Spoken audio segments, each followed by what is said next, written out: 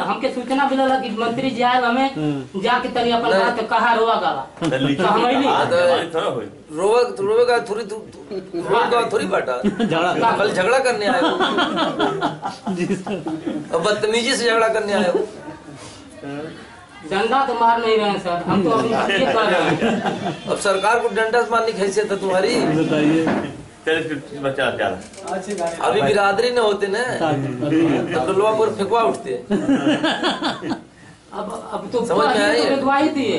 अब हमको कह दिए तो बिगवा दिए चलिए हो गया तो लगला। तो बिरादरी नाते कहा हमारी